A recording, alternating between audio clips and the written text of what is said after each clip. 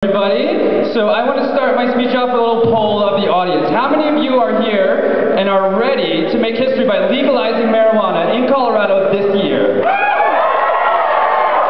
See, and that is why you should all vote for me for the candidate for board member because I think I have the most experience and the greatest diversity of experience to make something like that happen to make sure all projects from here on out have somebody that has the passion to actually back them up to completion. Because that's the big thing. Being a board member, you need to have fundraising experience passion to actually show our vision to the rest of the world and implement it. So I'm actually the only candidate that has been on the board before. I was one of the founders of the diversity committee. So I'm very proud to say the diversity committee is still kicking ass and I'm really happy to hear that. So I've had a lot of experience raising money, dealing with different problems, and I've done a lot of work specifically on whatever tasks are really, really difficult. So I was able to actually run for office as an independent student candidate drug policy reform.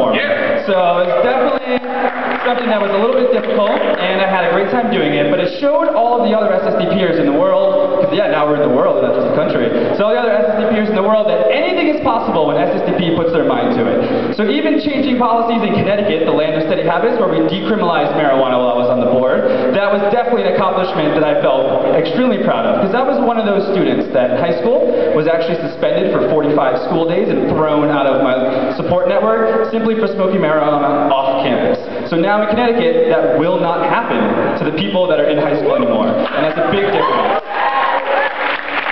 Now, as a chapter leader, I want to go real quick. I was the CFO of our chapter for many years. I secured over $100,000 for activist groups going through the student government, and eventually ran and won this chief financial officer position. So I was able to oversee a budget of $1.5 million.